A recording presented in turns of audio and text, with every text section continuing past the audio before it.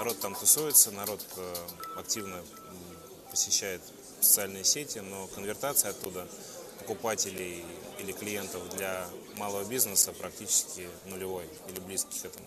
Практически невозможно найти кейсов на рынке, который показал, например, что мы сделали активную кампанию в social медиа, и благодаря этому у нас там появилось 100 клиентов по продвижению. Или там я сделал небольшой интернет-магазин, сделал его в Фейсбуке, и у меня теперь продаются там ноутбуки. Это нонсенс. То есть для больших брендов, поддержка имиджа и так далее, это работает. Для среднего и малого бизнеса это, конечно, было бы открытием года, но оно не произошло. Нет, безусловно, ты что его верить-то? Я знаю, а, опять-таки, вот там, покатавшись по западным конференциям, я посмотрел, э, там совершенно все серьезно, там э, рассказ про социальный маркетинг ведется не в рамках «давайте раскрутим группу ВКонтакте, и там будет 150 тысяч человек». А, там разговор идет в лидах, там разговор идет в деньгах полученных, там, увеличении оборота, увеличении рыночной доли, там, на каком-то достаточно конкурентном и вполне даже не интернетном бизнесе. А, речь идет там о увеличении там, конверсии, увеличении частоты покупок, создании лояльных, э, лояльного сообщества пользователей и так далее и тому подобное.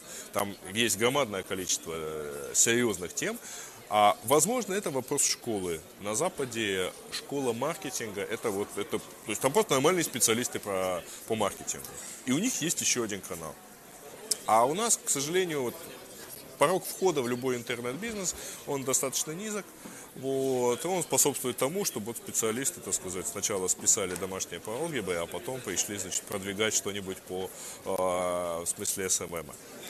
Мне кажется, для малого и среднего бизнеса это как раз может быть гораздо больше эффект, чем для большого. Потому что для большого бизнеса это в первую очередь имиджевый эффект. А малый и средний, я знаю массу вот небольших предпринимателей, магазинов, которые строят свои целые магазины там и сети именно там на API контакта там, или Фейсбука, вообще не имея собственного сайта. Я думаю, что это может быть. Вопрос в том, что, к сожалению, не знаю, либо так рекламное агентство себя ведут, либо у нас так это поставлено, что у нас сейчас сама цель – это вот создать группу, набрать туда людей. Но, к сожалению, нужно понимать, что это всего лишь средство достижения цели, то есть там тех же продаж. А у нас, к сожалению, наличие самой группы – это является самоцелью, что в корне неправильно. С социалками э, работать достаточно тяжело, э, потому что аудитория гуляет очень сильно, интересы, а, конкретные предложения бизнеса надо как-то вписывать в текущий поток. Вот. А, работает, но для этого надо уметь с ней работать, а, учиться работать. Честно говоря, пока не верю. Я не думаю, что люди пойдут искать, например, э, покупку какой-либо быстрой импульсивной товары, товара или услуги, да, которые нужно прямо сейчас, например, купить, э, вызвать такси или купить, я не знаю, там, букет цветов прямо в социальных сетях. Скорее всего, все равно люди будут вбивать свою потребность. Вопрос в другом, ведут ли социальные сети поиск. Возможно, это в ближайшее время произойдет, но я в это сильно не верю. Мне кажется, что пока поисковые системы будут оставаться поисковыми системами.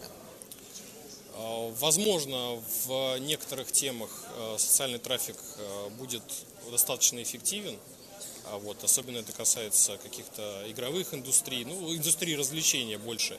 А, а вот конкретно в малом бизнесе, наверное, будут, будут э, хорошие решения, которые будут хорошо конвертировать этот трафик.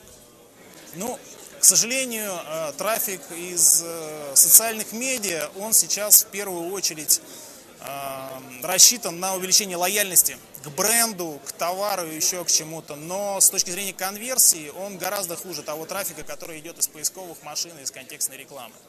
Поэтому, если говорить для малого и среднего бизнеса, для которых как раз лояльность в меньшей степени важна, чем прямые продажи, а вот, он гораздо хуже. Хотя а в дальнейшей перспективе, скорее всего, а, социальные медиа достаточно тесно перемешаются с э, тем же самым поисковыми сервисами. Я верю, значит, э, счастье будет у того, кто интегрирует социалку и поиск. То есть я думаю, что шансов никаких нет э, у тех, кто владеет только социалкой и только поиском. И счастье будет, вот, например, у того же Mail.ru, у которого полный пакет. Это свой поисковик, две социалки, Google+, со своей социалкой плюс поиском. Вот у них будет счастье, и это им вот, э, отличный инструмент для малого бизнеса, когда мы ищем что-то в Гугле и таргетируем не только по фразе, а еще и по полу, возрасту, там, достатку и так далее. Э, то есть я верю вот в такое. А во- все эти накрутки сообществ, группы, это все профанация. Ну, во-первых, э, я верю в social медиа и в то, что этот тренд будет расти, развиваться и э, в какой-то момент будет очень заметную э, роль играть в нашем интернет-маркетинге. Если говорить про малые компании, то сейчас, конечно же, социальные сети для них э, мало применимы. Хотя тут, конечно, не без исключений, есть нишевые какие-то э, предложения, нишевые даже типы компаний и рынки, где это э, имеет смысл. Э, В малом, и сре- э, в малом да, в среднем нет, я бы так сказала. Э, Малый бизнес – это личные отношения с каждым клиентом. Личные отношения в социал-медиа замечательно налаживаются, приходит менеджер, общается в группе на тему, которую он любит, ну и заодно немножко продает. Отличный, очень эффективный способ с точки зрения траты денег и очень неэффективный способ с точки зрения траты времени этого самого менеджера. Все попытки каким-то образом автоматизировать социал-медиа маркетинг, каким-то образом уменьшить вот это вот присутствие человека, они, естественно, ни к чему хорошему не приводят. Поэтому для среднего бизнеса это уже не очень хороший вариант. А, Зато для крупного бренда, кому не важны непосредственные продажи, а важно уже, чтобы о нем больше знали, это опять становится эффективным.